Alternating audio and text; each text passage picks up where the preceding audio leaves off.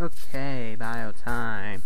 It, it's actually do bios while eating toast and drinking hot chocolate. Anyways, Starly, the first one, it's really good. Got good attack, good speed.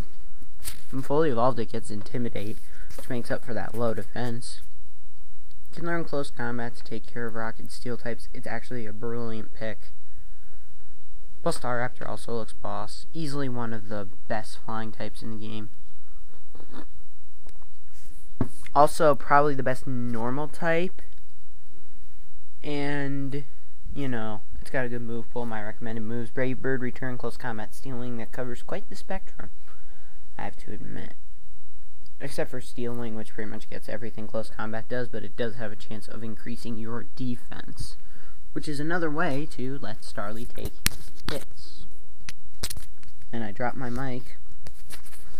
Anywho, our next Pokemon is, in fact, Bidoof. It's only good as an HM slave. As you can see by the recommended moves, its stats are not good.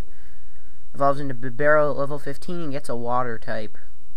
It's a pure normal type to start, and then when it evolves, it becomes part water type. It can learn 6 of the 8 HMs, Cut, Rock Climb, Waterfall, Rock Smash, Strength, and Surf.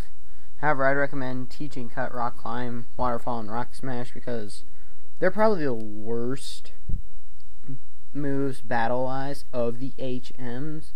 The only HMs that can't learn are Fly and Defog, so like, you put together a Bibarel with Surf, Waterfall, Rock Climb, and Strength, with like a Skarmory, which I know you're not gonna have unless you're like Super Skarmory, with Cut, um, Defog, Fly, and Rock Smash, and you have all the HMs right there with two Pokemon.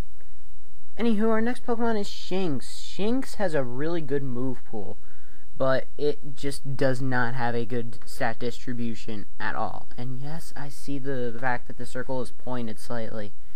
The uh, images are the image that I get is a render, which is kind of annoying, and that was my insulin pump beeping.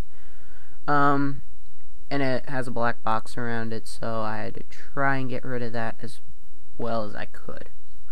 Um, in case you can't read that first recommended move, it's Charge, Spark, Ice Fang, and Crunch. Charge powers up Spark and also raises its low stat special defense. Um, Intimidate's pretty good as an ability, and a lot of its moves can cause status effects like Ice Fang freezing and Spark paralyzing. And moves it has all three fangs, which can allow flinching, so it's actually not a bad pick. I'll give it a 7 out of 10.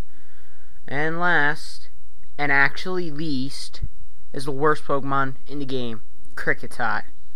As you can see, its stats suck even when you involve, evolve it into Kricketune after wasting your time.